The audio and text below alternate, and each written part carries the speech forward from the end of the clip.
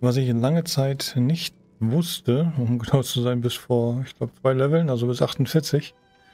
Ähm, es gibt ja die Möglichkeit, beim Barbaren nicht nur vier Waffen auszurüsten.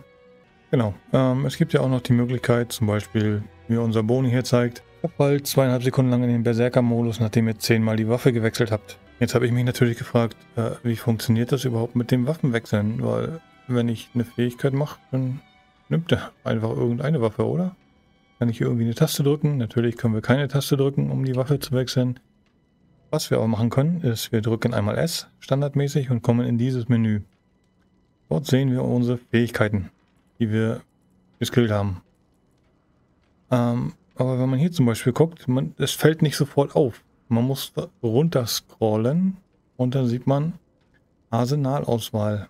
Wenn man jetzt unten guckt, haben wir links Fertigkeit zuweisen, in der Mitte Waffe wechseln und Fertigkeitsbaum anzeigen.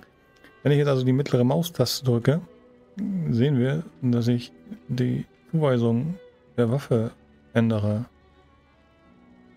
Dementsprechend solltet ihr das bei allen Sachen hier einstellen, wo es möglich ist, die unterschiedlichen Waffen zu nutzen.